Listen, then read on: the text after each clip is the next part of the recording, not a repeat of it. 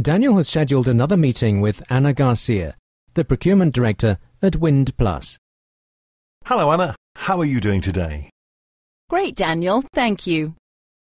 Anna, now that I understand the supplier relationship analysis and risk management activities, can you explain the next step of the sourcing process?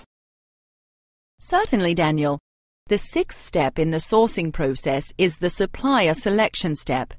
In this step, the outcome from the risk supplier relationship, portfolio, and market analysis plus the assessments of the needs results into the definition of the supply strategy and the creation of the award criteria. I see.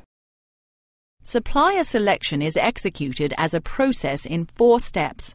The first step is the definition of the supply strategy and creation of the award criteria.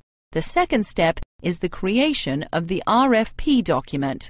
The third step is running the RFP. And finally, the fourth step is negotiation and award. I understand.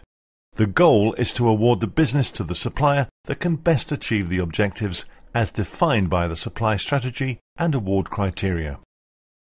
Excellent, Daniel. During the market analysis step, Daniel identified 23 suppliers. He received 18 RFI answers. When Daniel applied the RFI selection criteria, eight suppliers passed.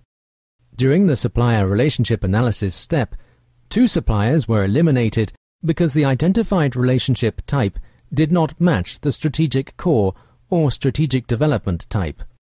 Now six potential suppliers remain.